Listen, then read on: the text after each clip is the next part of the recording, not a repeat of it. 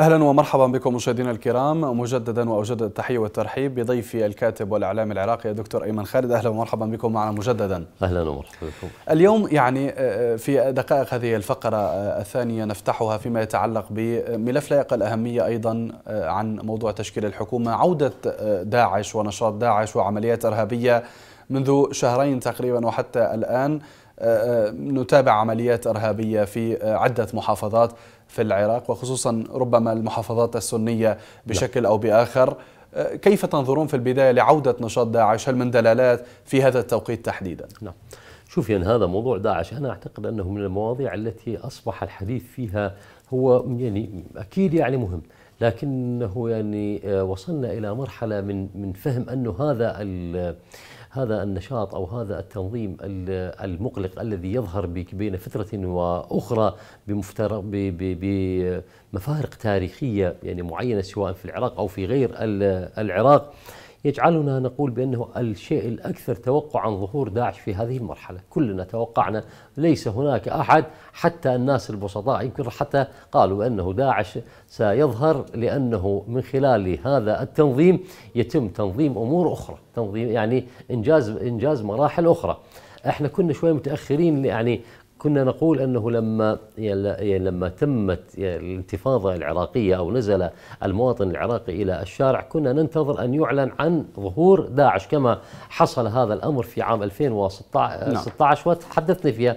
قلنا عندما دخلوا في حينها إلى إلى تذكر إلى مكاتب رئيس الوزراء. صحيح. أي بالضبط قالوا لهم هناك داعش وذهبوا الجميع إلى المعركة وبعد أن أنهوا المعركة وأنهوا أنهوا المحافظات المهمة وأسقطوا البيوت على رأس ساكنيها لم نفهم داعش أين ذهب إلى أنه قال قال في حينها العبادي أنه حفل كبير في بغداد وانتصروا وانتهوا على وكذلك ترامب لكن اليوم احتفلوا احتفلوا قالوا نهائيا انتهى وإحنا في يعني كل متابع لهذا الأمر يعني ضحكنا على هذا الموضوع لأن نعرف أنه هذه اللعبة كما انتهت تعاد هي لعبة انتهت وعادوها فبسم الله عادوها مرة طيب اليوم يعني. العوامل التي ساهمت بعودة تنظيم داعش لنشاطه في العراق. بالتأكيد يعني هناك عوامل ساهمت بذلك. هو ظاهريا ضعف الحكومة ضعف الحكومة. هذا انقسام السياسي انقسام بالتأكيد. السياسي ضعف الحكومة تردي الأوضاع المعاشية انسحاب الولايات المتحدة الأمريكية. هذه ظواهر على الأرض لكنه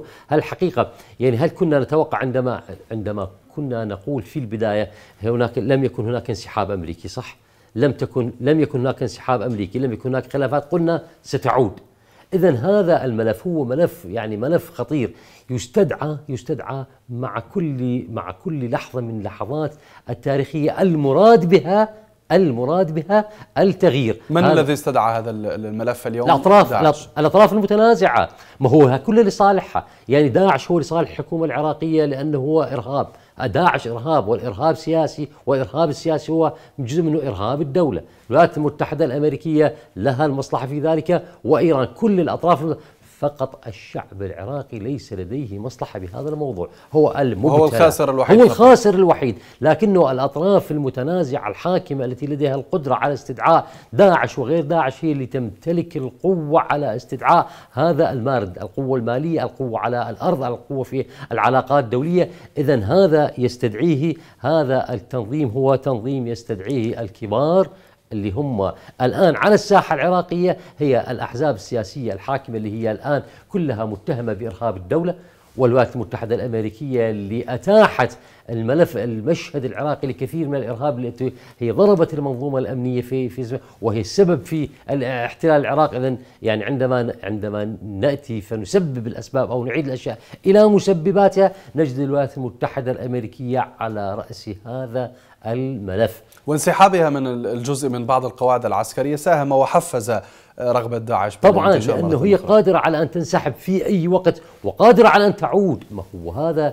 هذه هي النقطة المهمة. يعني هذه القوة الميدانية الأمريكية القدرة هي تساعدها. يعني بقائها بقائها بقائها في المكان قادرة على أن تشكل أي حالة.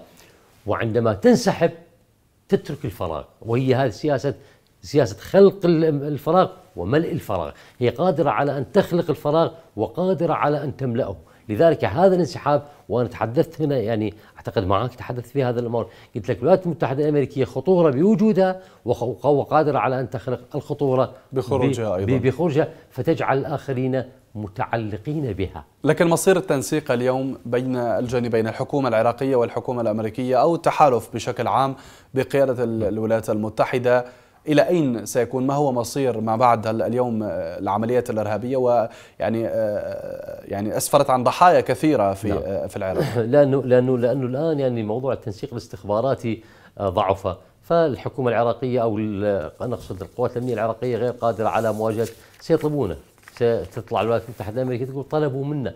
مثل ما عملوا بال مثل ما عملوا بالاتفاقية الأمنية عام 2008 نعم. هم كتبوا بإحدى فقراتها يحق الولايات المتحدة الأمريكية أن أن تعود وتتدخل ميدانيا في حالة تعرض البلد إلى أي إرهاب أو تعرض الولايات المتحدة الأمريكية مصالح الولايات المتحدة الأمريكية لحيقول لنا هالمرة نفس الشيء. سيقولون هناك إرهاب ويحق لنا العودة والبعض من البرلمانيين العراقيين قالوا بأنه يجب على الولايات المتحدة الأمريكية أن تخرج ويجب علينا إنهاء هذه المعاهدة. سيعود السياسيون العراقيون يقول يعني نحن نحتاج الجهد الاستخباراتي ونحتاج الطائرات لأنه المجال الجوي تحت المراقبة الأمريكية. فنحتاج الولايات المتحدة الأمريكية فسناتي في الشهر السادس ونوقع معهم على المعاهدة الجديدة على تجديد المعاهدة ولكن بشروط بشروط اقسى وهذه من البداية. عيدوا الكلام اللي قلنا ستجدون هو نفس الكلام ونفس السيناريو. من 2008 كنا نقول هذا الكلام. يعني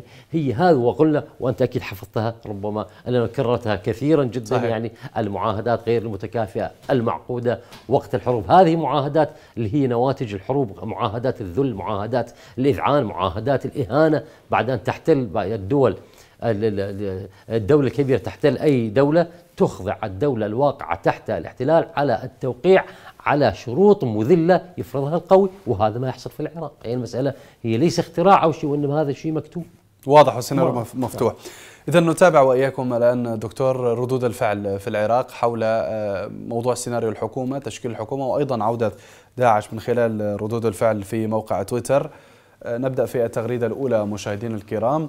اللي سيد عزت الشابندر كتب في هذه التغريدة وقال مخترعو بدعة الوزير يجب أن يكون مستقلا يحاولون فرض هذه المسطرة على غيرهم من الأطراف وإذا فشلوا فليس أمامهم سوى مخالفة الوحي بالانسحاب عنها أو القبول بحكم أكل, أكل لحم الميتة التي سبق وإن أكلوها ألف مرة. هذه يعني هو بيطبقها على الحالات الضرورية يعني يجوز أكل لحم الميتة في الظروف نعم. وأخذها على نظرية القياس. نعم. آه إيه، يعرفهم هو كثير لأنه هو من ضمن هذه الطبقة. نعم. التغريدة الثانية لسيد غالب الشبندر كتب أيضا في هذه التغريدة وقال الهراء المتداول حول نظرية داعش تريد احتلال بغداد لإسقاط النظام. مجرد هراء قادة المكون الشيعي جميعا اضطروا أو أضروا المكون قصدا أو سهوا أو جهلا أو تغاضيا. أعدموا أعدموا دواعش المحكومين بالإعدام. كافي ترى والله فتكتوا إيه. هذا الكلام. قلب الشعب تكتب قلب الشعب. في العامية العراقية إيه، فتكتوا الشعب قلب الشعب وضميره وكرامته ومستقبله وحاضره كافي قهر.